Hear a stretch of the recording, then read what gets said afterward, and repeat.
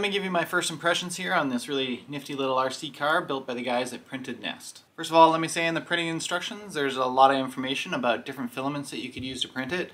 I, however, just printed pretty much everything here in PLA. I used TPU for the bumpers and for the belts and for the tires, and I used some PETG and ABS for things like the motor mount and the gears that are going to get a little bit more stressed. But everything else is just printed in simple PLA, so don't let that scare you. This is driven by a 35T brush motor that does seem to get a bit hot, and I'm running a 2S LiPo battery, a 20 kilogram servo, and a FlySky receiver. First off, I do really like this futuristic body. It's what drew me to the model in the first place. And it's super cool to see how Printed Nest designed it with the little drawers that go into the different sections and it's all screwed together with M2 screws and nuts. It's really neat. This is the first car like that that I've built. I also like how this car uses the maximum amount of 3D printed parts that you could put into a vehicle. There's really nothing in the way of metal components in it other than some screws and the electronics. It's got a 3D printed TPU suspension which in the back here is adjustable. It uses printed axles, printed gears, printed belts, printed tires, printed bumpers, which makes it very accessible for someone who doesn't want to spend a lot of money building an RC car. In general, things seem to fit together pretty well, and it seems pretty sturdy, and I really like these TPU bumpers on the front and the rear.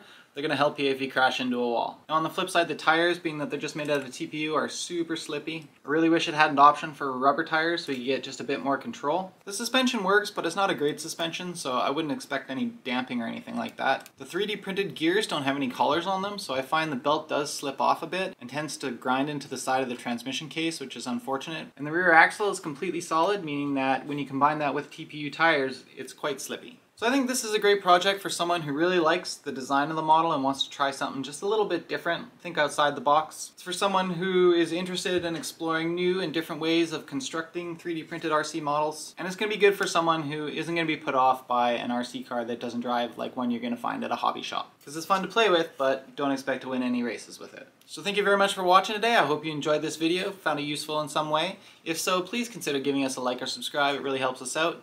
And as always, if you're looking for cool ideas of 3D printed projects like this one to build, kits, parts, or instructions on how to build them, make sure you check us out at rcprinter.com.